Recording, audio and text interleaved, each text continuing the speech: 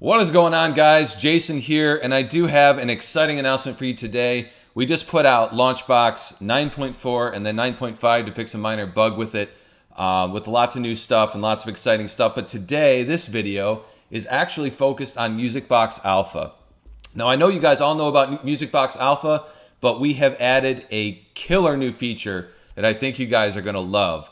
So I'm going to start from the very beginning, and I first want to say that this works even with the demo version of MusicBox Alpha. So this doesn't cost anything to do any of this stuff today. Uh, the killer new feature that we're going to be going over is ripping CDs. Now that, that might not sound amazing, uh, but I'll tell you what, it is because it's the best solution available for ripping CDs, literally. Um, and we'll go through that in a second. Let's actually start from the beginning, uh, and I'll show you the process of getting MusicBox Alpha up and running without any cuts, without any uh, video editing at all. So you guys see the process, see how quick it is, and see how easy it is. So I have this setup right here on my desktop that I've downloaded from the website, and we're just going to run the setup here and go through the process. And it should be real quick and easy. We're just going to hit basically next, next, next, next, next, whatever. I'm going to put d colon backslash MBA in there for the path and install it and within moments we'll be up inside a brand new copy of MusicBox Alpha up and running. It literally takes just seconds. Okay, and you, will notice it is the demo version up here. Um, but this will work for 1,000 songs, and the ripping CDs portion of it will work for free. So the first thing we're going to do is just add a music folder, which is easy as pie. I'm just going to click the link there and click Add Folder. Uh, and then I'm going to go back to my music folder and click close and it will quickly parse through all the music in my music folders.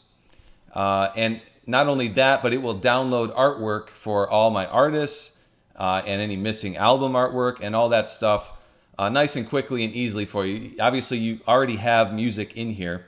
It does take a little bit of time to download the images, but you can just set it and let it go. And you'll notice that we do have a 1,000 song demo collection restriction reached. Um, so it will only show a thousand of your songs. Um, that is the free version. Uh, the premium version is also available though. Um, uh, so that and it's only ten dollars right now. It's still only ten dollars. So that's certainly something you can do, but you don't need to do that uh, to get the CD ripping functionality. Now, uh, just to, as a quick demo, I can go into Avril Lavigne here, and I have uh, the two albums here that it scanned uh, and songs and all that stuff. We can also filter by uh, albums, and it's loading up all my album artwork, and then also genres, or, and it's just magically building this based on, on the album art, or we can load up uh, the songs themselves. So that's just a quick demo of the interface, and of course it's a player, so you can play the music, but I can't play any of this music or I'll get tagged by YouTube, of course. But anyways, the ripping functionality is what we're really here to demo. And this stuff is incredible. Just so you know, uh, I will be making a couple of video cuts uh, so that you don't have to sit here bored while I'm doing the ripping process. But up to this point, there has been no cuts. Uh, I'm, I'm just showing you exactly as it is. Uh, but from this point forward, just so you know, yes, there will be some video editing cuts.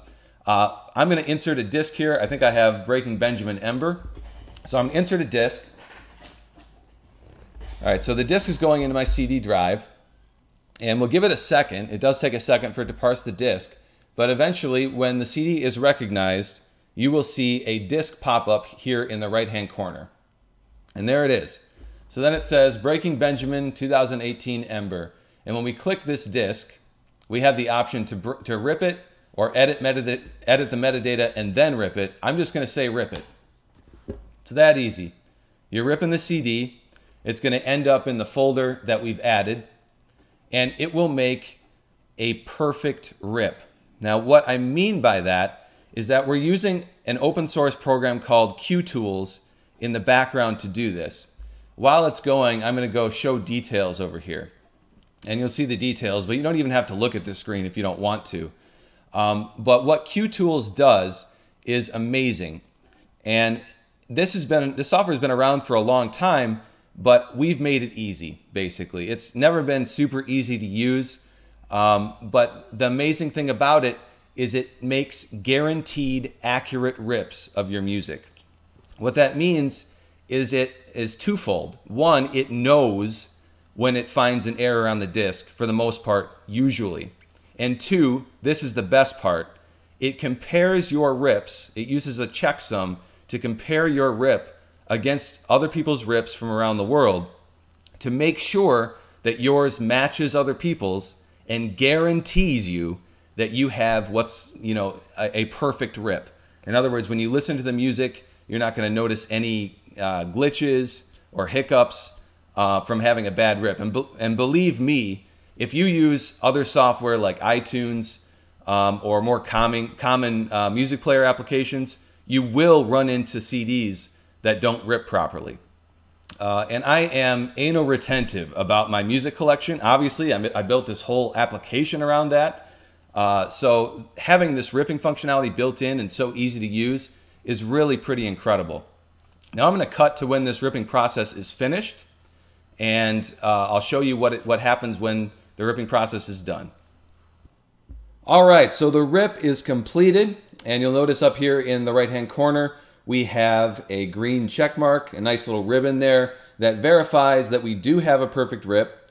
Um, if we go and right click and or left click and say show details, it'll say perfect rip completed and confirmed for Breaking Benjamin 2018 Ember. All tracks were accurately ripped with confidence 54.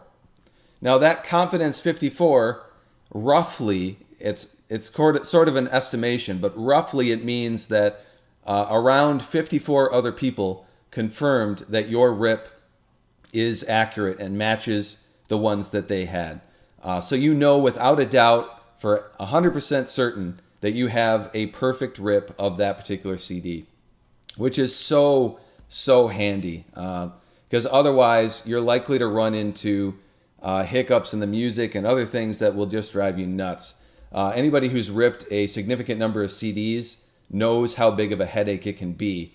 But CUETools, along with this easy adaptation of it, really makes this whole process a bigger walk in the park than it has ever been before. Um, so I'm particularly proud of this particular implementation here.